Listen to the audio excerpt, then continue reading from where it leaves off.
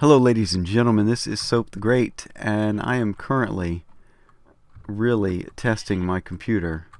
Oh, they got shorn. Or this could be a problem with the shaders. But yes, I am running shaders because my computer can handle it. And oh, we're getting about 45, 50 frames a second. Let's see what else we've got going on here. We could probably reduce that down a little bit. But overall, uh, this is kind of exciting. I can run shaders and I want you to let me know what you think. Do you like shaders?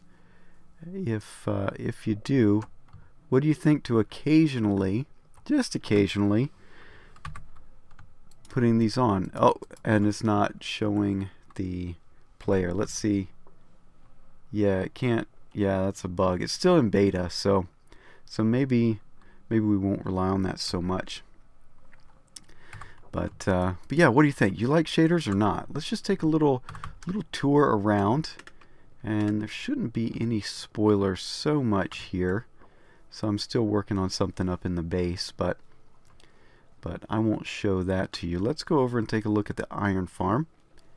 And, uh, and yeah, we'll just chat. So for some time, I I didn't really care for the shaders so much when I saw other people running them, but I, I kind of got used to them. So it's it's nice having them in 1.8 now, and it's kind of cool just going around and seeing what the builds look like. But I would love to know what you think and whether you like them. I know that opinions are mixed here on the server, and I'm not going to do this on a regular basis. But uh, what if we just occasionally did a little world tour show you what's going on around the Too Crafty server and uh, and we'll see what the shaders do to what people are building.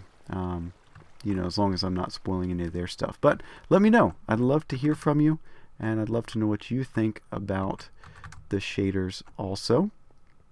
And uh, yeah, we'll, uh, go from there.